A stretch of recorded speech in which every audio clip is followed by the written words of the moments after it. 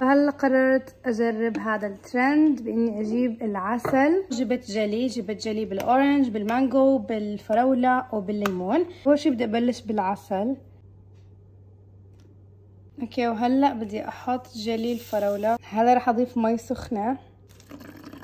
جلي الليمون. هلا صارت القناني جاهزة عنا جلي ليمون وعنا العسل وعنا جلي الفراولة ما سويت جلي المانجو بس حابة أجرب هدول الثلاث أول. هلأ رح أحطهم بالفريزر لمدة أربع أو خمس ساعات وبعدين حرجع لكم. وأخيرا صاروا جاهزين طلعتهم من الفريزر. أول شي حنجرب العسل الأصلي اللي ما فيه ولا إشي غير عسل. فخلينا نشوف. okay شوفوا من بدايتها. okay هلا عم بطلع العسل. كتير قاسي بس خلينا نجرب يلا.